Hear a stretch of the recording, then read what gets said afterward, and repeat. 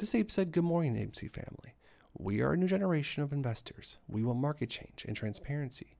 We will fight together. It doesn't matter what stock you are in, we are all in retail. It's important that we remember that. If we all come together united, we'll win. That's a really good point. Even if you're not in this AMC play, a lot of the ideas that the AMC ape community, ape family has are good ideas for any retail investor, at least in my opinion. Comment down below if you're also in the fight for a more fair, transparent market. This ape says until the buy button was removed, I've had my head in the ground as far as our financial establishments were concerned. But since then, I've been disgusted with the corruption that has been allowed to go on at the expense of everyday citizens. Here are just a few things I would allege in no particular order. Government officials, insider trading with no consequences. And this is all alleged, of course. There's reasons to think that some of Congress has been doing some weird things when it comes to trading, considering there's many members of Congress that have actually been beating the returns of major hedge funds. Now, we don't know what's going on there, but we're just saying. It's weird. Most financial news outlets are being mouthpieces for Wall Street to manipulate the markets. Now, I'm sorry to say for those of you that don't know, but most of the mainstream media is actually owned by hedge funds, or hedge funds at least have a big piece of them. So take with that information what you want. Conflicts of interest between market makers, hedge funds, etc., being owned and operated by the same entity. That's also something that needs to be looked into. There's way too much conflicts of interest across the entire higher ups. The absurd number of politicians who get paid ridiculous fees to speak, which appears as a bribe in disguise.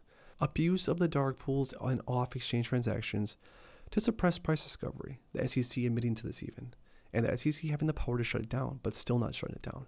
The SEC has laws and rules in place that can shut down things like this if they feel fit, but yet nothing's happened.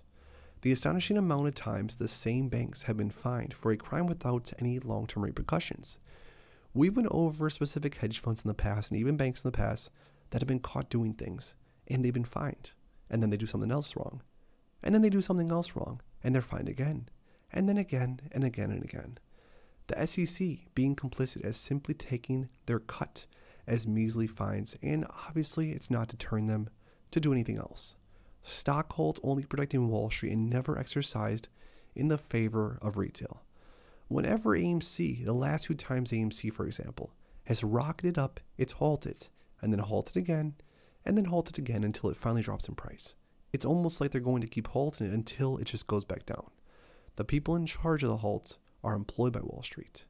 Price spoofing in plain daylight, we've seen that on the level 2 data. Naked shorting without any consequences.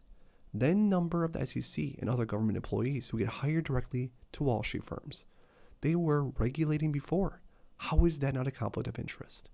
Glitches in data of just a few stocks so frequently that it defies all statistical reality. Why has AMC had so many glitches in the last few years when most other popular stocks in the market that have way higher trade volume never have glitches?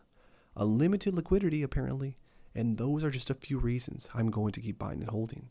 Because no sell, no sell. What else have you seen? Comment down below, guys, anything else you've seen. I love these lists. Shout out to this ape that made this on the Reddit. This is a great list, but again, this is just scratching the surface, unfortunately. We could probably sit here all night together and go over everything. But comment down below if you have seen anything else that you're not too fond of.